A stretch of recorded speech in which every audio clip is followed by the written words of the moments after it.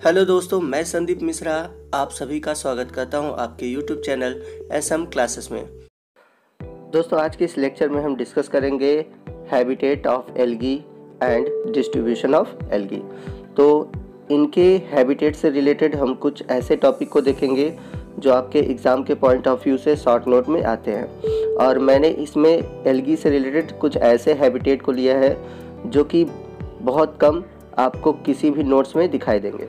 तो इस लेक्चर में मैंने एक्वेटिक हैबिटेट टेरेस्ट्रियल हैबिटेट और अनयूजुअल हैबिटेट को डीपली डिस्कस किया है और ये जो वीडियो है आपके यूजी हो चाहे पीजी, दोनों के लिए मोस्ट इंपॉर्टेंट है। तो आइए लेक्चर को स्टार्ट करते हैं और डिस्कस करते हैं habitat of algae. Based on their habitat, three types of algae can be recognise तो अगर हम बात करें हैबिटेट के अकॉर्डिंग तो जो एल्गी होते हैं, थ्री टाइप के होते हैं। फ़र्स्ट एक्वेटिक एल्गी सेकेंड है टेरेस्ट्रियल एल्गी और थर्ड है algae of unusual habitat. First we are discuss about aquatic algae the algae are predominantly aquatic aquatic algae are two types. तो यदि हम बात करें एल्गी की तो एल्गी का जो जनरली हैबिटेट होता है वो एक्वेटिक होता है, और या फिर ये मॉइस्ट प्लेस पे पाए जाते हैं। बट मैक्सिमम ये आपके एक्वेटिक ही होते हैं। वही बात करें हम एक्वेटिक एल्गी के टाइप्स की तो ये टू टाइप्स के होते हैं fresh water algae and second marine algae वही बात करें यदि हम फ्रेश वाटर एल्गी की तो जनरली पॉन्ड लैक रिवर इन सभी प्लेस पे पाए जाते हैं। वही बात करें यदि हम मरीन एल्गी की तो वो जनरली आपके सी वाटर में पाए जाते हैं। तो अगर हम डिस्कस करें एक्वेटिक एल्गी के टाइप्स की तो ये फॉलोइंग टाइप के होते हैं। तो आगे जो हम जितनी भी कैटेगरी पढ़ेंगे, उसमें आपके एक्वेटिक एल्गी में मतलब कहने का मतलब वो फ्रेश वाटर और मैरीन वाटर दोनों से रिलेटेड रहेंगे।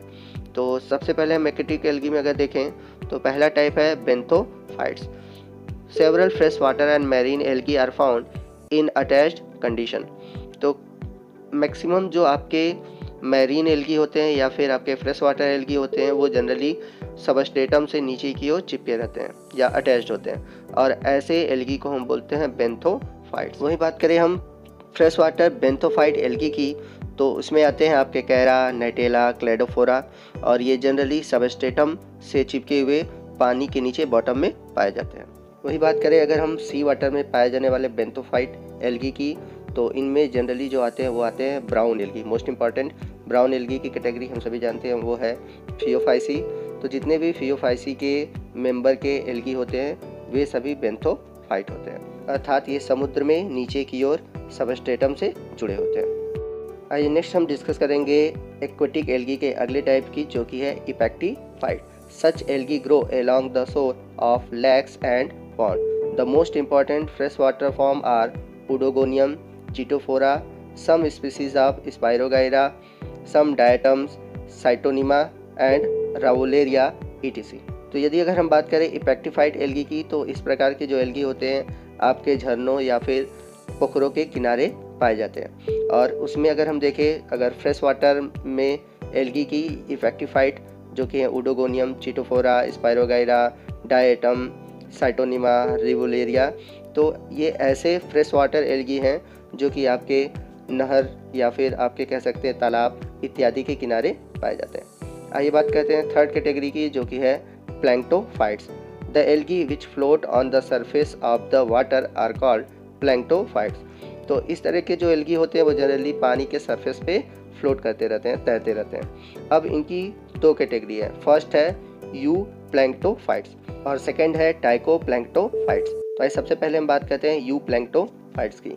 They are never attached and from the very beginning they are free floating तो इस तरह के जो आपके एल्गी होते हैं, ये कभी भी आपके किसी भी सबस्टेटम से चिपके नहीं होते। ये शुरू से ही फ्री फ्लोटिंग होते हैं। मतलब हमेशा तैरते रहते हैं। अगर एग्जांपल की बात करें डायटम्स है माइक्रोसिस्टिस है क्लेमाइडोमोनास है वॉलवॉक्स है तो इस तरह के जो एल्गी हैं, ये सभी यू प्लैंक्टोफाइट्स होते हैं। आइए बात करते हैं सेकेंड टाइप की, जो कि है tychoplanktophytes in the beginning such algae are attached but later on they become detach and free floating तो टाइकोप्लैंक्टोफाइट्स जो एल्गी होते हैं, वो शुरू में तो किसी भी सबस्टेटम से अटैच होते हैं बट जैसे जैसे ये मैच्योर होते हैं, ये सबस्टेटम से डिटैच हो जाते हैं, अलग हो जाते हैं, और अपना जो लाइफ है, वो फ्री फ्लोटिंग फॉर्म में स्पेंड करते हैं। यही बात करें अगर हम एग्जांपल की तो इसमें आते हैं Spirogyra Zygnema Cladophora Oedogonium Tetraspora Rivularia Nostoc Sargassum ये सभी क्या है टाइको डाइकोप्लैंक्टोफाइट्स हैं। तो अभी तक हम लोगों ने एक्वेटिक एल्गी पढ़ा और एक्वेटिक एल्गी में अलग अलग टाइप्स पढ़े। आइए नेक्स्ट हम कैटेगरी पढ़ेंगे एल्गी की, जो कि है terrestrial algae. Such algae are also called edaphophytes they are found upon और inside the surface of earth they are two types तो यही बात करें अगर हम टेरेस्ट्रियल एल्गी की तो इन्हें एडेफोफाइट्स भी कहते हैं। और जनरली इस तरह के जो एल्गी होते हैं, या तो सॉइल के सरफेस पे पाए जाते हैं, या फिर सॉइल सरफेस के अंदर पाए जाते हैं। इनकी दो कैटेगरी है। पहली है सेफोफाइट्स और दूसरा है क्रिप्टोफाइट्स तो सबसे पहले हम बात करेंगे सेफोफाइट्स की। दे आर सरफेस एल्गी तो ये जनरली अर्थ सरफेस पे पाए जाते हैं। Most of the species of myxophyceae are found upon the surface of soil तो मैक्सिमम जो मिक्सोफाइसी के मेंबर होते हैं या स्पीसीज होते हैं, वो सॉइल सरफेस पे पाए जाते हैं और इन्हें हम बोलते हैं सेफोफाइट्स तो यदि हम एग्जांपल की बात करें बटरीडियम है फिस्टेला है वाउचेरिया है तो ये सभी जो हैं सेपोफाइट्स हैं। वही बात करें यदि हम टेस्टियल एल्गी के अगले टाइप की, जो कि है crypto cryptophytes such algae are subterranean in habit and occur inside the soil तो इस तरह के जो एल्गी होते हैं क्रिप्टोफाइट्स वो जनरली सॉइल के अंदर पाए जाते हैं। The species of Nostoc Anabaena Euglena have been reported from the paddy field where they are also fix the atmospheric nitrogen in the soil to enrich the fertility of field तो जैसे यदि हम बात करें नास्टॉक, एनाबिना, युगलिना तो ये generally आपके जो धान के खेत हैं, उसमें पाए जाते हैं और नाइट्रोजन का फिक्सेशन करते हैं। और जो सॉइल है या फिर जो मैदान है या खेत है, उसकी फर्टिलिटी अर्थात उत्पादक क्षमता को बढ़ाते हैं। तो अभी तक हम लोगों ने एल्गी के हैबिटेट के दो कैटेगरी की बात की, एक तो एक्वेटिक और दूसरा टेरेस्ट्रियल आइए हम लोग थर्ड हैबिटेट की बात करते हैं, जो कि है अनयूजुअल हैबिटेट। तो यदि अगर हम बात करें अनयूजुअल हैबिटेट की तो ये स्पेसिफिक प्लेस पर पाए जाते हैं और उस स्पेसिफिक प्लेस पे पाए जाने के कारण उनके कुछ स्पेसिफिक हैबिटेट के नेम होते हैं। तो जैसे अगर हम बात करें, सबसे पहला अनयूजुअल हैबिटेट है, वो है लिथोफाइट्स मोस्ट इंपॉर्टेंट है many algae grow on the rocks and wall the species of Scytonema grow on the walls in rainy season and the whole wall become black spotted. तो यदि हम बात करें lithophytes की, जब एलगी आपके चट्टानों या फिर दीवारों पर पाया जाता है तो उसे हम बोलते हैं लिथोफाइट्स। और वहीं बात करें साइटोनीमा की, कुछ जातियाँ जो होती हैं दीवारों पर बरसात के समय चिपकी होती हैं और पूरा जो दीवार होता है वो ब्लैक स्पॉटेड हो जाता है। इसके अलावा वाउचेरिया नॉस्टॉक ये सब भी आपके जो वेट रॉक हैं, उन पर पाई जाती हैं। तो जैसा कि आप इमेज में देख सकते हैं, ये सभी जो हैं एलगी लिथोफाइट्स हैं। और जैसा कि मैंने बताया, जितने भी लिथोफाइट्स होते हैं वो आपके चट्टानों पर या फिर दीवारों पर पाए जाते हैं। बात करते हैं सेकेंड कैटेगरी की, जो कि है halophytes the algae occur in saline water are known as halophytes तो ऐसे एलगी जो कि ऐसे प्लेस पर पाए जाते हैं जहाँ पर सॉल्ट कैल्शियम मैग्नीशियम या सोडियम की मात्रा अधिक होती है, ऐसे एलगी को हम बोलते हैं हेलोफाइट्स अगर एग्ज़ाम्पल की बात करें एपैनोथिका ऑसिलेटोरिया अल्वा ये सभी जो हैं एलगी हेलोफाइट्स हैं। पढ़ते हैं अगले अनयूजल हैबिटेट की ओर, जो कि है इपीफाइट्स और मोस्ट इंपॉर्टेंट है। तो इपीफाइट्स एलगी क्या होते हैं? Many algae are found upon other living plants and bigger species of algae तो जो एपीफाइट्स एलगी होते हैं, वो जनरली दूसरे जो बड़े प्लांट होते हैं या फिर जो बड़े एलगी होते हैं, उनके ऊपर पाए जाते हैं। एक चीज़ आप हमेशा याद रखिएगा पैरासाइट और एपीफाइट में डिफरेंट होता है। पैरासाइट में क्या होता है कि जब कोई ऑर्गेनिज्म किसी दूसरे ऑर्गेनिज्म के ऊपर रहता है लिविंग पर तो उससे न्यूट्रिशन लेता है। लेकिन जो एपीफाइट्स होते हैं, वो तो रहते हैं अदर प्लांट में बट उनसे न्यूट्रिशन नहीं लेते। तो ये डिफरेंस होता है आपके पैरासाइट और इपीफाइट से। तो याद रखिएगा कि इपीफाइट्स में जो भी प्लांट होते हैं, वो जिस प्लांट पे रहते हैं, उससे कोई न्यूट्रिशन नहीं लेते। Aphanochaete Bulbochaete Oedogonium and Microspora are found as epiphytes on large species of Oedogonium Cladophora Vaucheria and Hydrodictyon तो यदि हम बात करें एफाइनोचीट, बल्बोचीट, उडोगोनियम और कुछ माइक्रोस्पोरा की जो जातियाँ होती है, वो आपके उडोगोनियम, क्लेडोफोरा, हाइड्रोडिक्टियन, वाइचीरिया, इन सबों पर इपीफाइट्स के फॉर्म में पाई जाती हैं। बढ़ते हैं अनयूजल हैबिट के फोर्थ फॉर्म की ओर, जो कि है aerophytes. Such algae are aerial inhabited, they are found upon the trunk of tree, walls, fencing wires, rocks and animal, and so many other aerial substrate. तो यदि हम बात करें एरोफाइट्स की तो इसके अंतर्गत ऐसे एल्गे आते हैं जो जनरली एरियल हैबिटेट में रहते हैं। जनरली ये पौधों के जो ट्रंक होते हैं, अर्थात उनके जो बड़े बड़े ब्रांचेस होते हैं, शाखाएँ होती हैं, उन पर पाए जाती हैं दीवारों पर पाए जाते हैं, या फिर घरों की छतों या फिर एनिमल के ऊपर पाए जाते हैं। जनरली ये एरियल सबस्टेट पर होते हैं। ये टू टाइप्स के होते हैं। पहला है ई पी फाइलोफाइट्स और दूसरा है ईपी फेलोफाइट्स तो सबसे पहले हम बात करते हैं ईपी फाइलोफाइट्स की such algae are epiphytic upon leave of trees तो जो ईपी फाइलोफाइट्स होते हैं तो फाइलो वर्ड हमेशा याद रखिएगा। फाइलो का मतलब होता है पत्ती। तो इस तरह के जो एलगी होते हैं जनरली पेड़ों की पत्तियों पर पाए जाते हैं। अगर एग्ज़ाम्पल की बात करें ट्रेंटोफोलिया जो कि आपके जो पौधे हैं, पौधे के छालों पर या फिर जनरली पौधे की जो पत्तियाँ उन पर पाए जाते हैं। तो इन्हें हम बोलते हैं एपीफाइलोफाइट्स जैसा कि इमेज में आप देख सकते हैं जितने भी आपके ईपी फाइलोफाइट्स हैं, वो जनरली पत्तियों पर पाए जाते हैं। बढ़ते हैं दूसरी कैटेगरी की ओर, जो कि है epiphloeophytes this algae grow on the bark of tree mix with many mosses and liverwort तो इस तरह के जो एल्गी होते हैं जनरली जो पौधों के छाल होते हैं, उन पर पाए जाते हैं और जनरली ये मॉस या फिर लीवर वर्थ से जुड़े होते हैं। वही बात करें अगर एग्ज़ाम्पल की तो Phormidium Haplosiphon grow on the bark of tea mix with liverwort तो जो फोरोमीडियम है हैप्लोसाइफोन है, ये जनरली आपके पेड़ों की जो छाल होते हैं, उनके पास या उनके ऊपर पाए जाते हैं। तो ये बात हुई एरोफाइट्स के डिफरेंट टाइप की। आइए अनयूजल के अगले पॉइंट की ओर चलते हैं, अगले हेडिंग की ओर चलते हैं, जो कि है ईपी जू फाइट्स तो नाम से ही आपको दिख रहा होगा ईपी का मतलब हमेशा होता है एबव जू से मीन है एनिमल और फाइट्स का मतलब है प्लांट मतलब कि ऐसे एलगी जो कि आपके एनिमल के ऊपर रहते हैं, उन्हें हम बोलेंगे ईपी जू फाइट्स तो आइए डिस्कस करते हैं। Certain algae are found on living aquatic animal such as turtle mollusca shell faeces ई तो जो कुछ एलगी होते हैं जनरली एक्वेटिक एनिमल जैसे कि कछुओं पर, जो मुलस्कन के सेल होते हैं, जो कि कैल्शियम कार्बोनेट के होते हैं, जैसे घोंघा है, सीप है, इनके सेल के ऊपर या फिर मछलियों के ऊपर पाए जाते हैं। वही बात करें अगर हम एग्ज़ाम्पल की species of Cladophora grow upon mollusc shell तो जो क्लोडेफोरा होते हैं, वो जनरली जो मोलस्कन के सेल होते हैं उनके ऊपर पाए जाते हैं। वही बात करें प्रोटोडर्मा की, वो कछुओं के बैक पर पाए जाते हैं। तो ऐसे एलगी जो कि एनिमल के ऊपर पाए जाते हैं, उन्हें बोलते हैं ईपीजू फाइट्स चलते हैं अनयूजुअल हैबिटेट के अगले टाइप्स की ओर, जो कि है cryophytes. These algae are found on ice and snow.